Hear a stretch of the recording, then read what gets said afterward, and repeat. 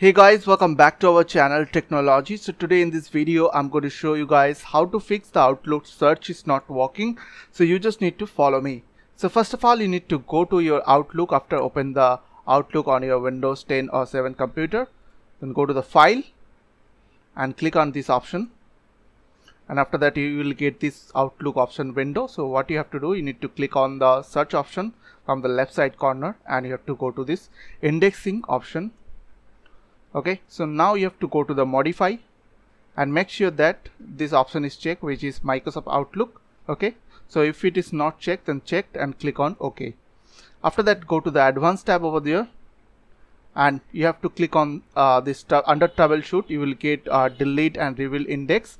So you have to click on rebuild and click on OK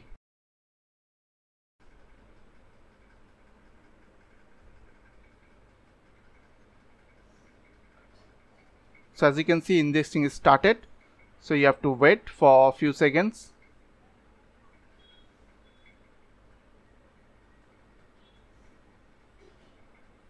So after done close this option. And now go to the search option over there.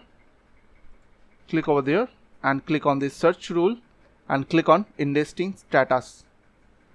After that it will indexing all your uh, mail. And after that it will fix your uh, search problem in Outlook. So I hope this small video will really help for you.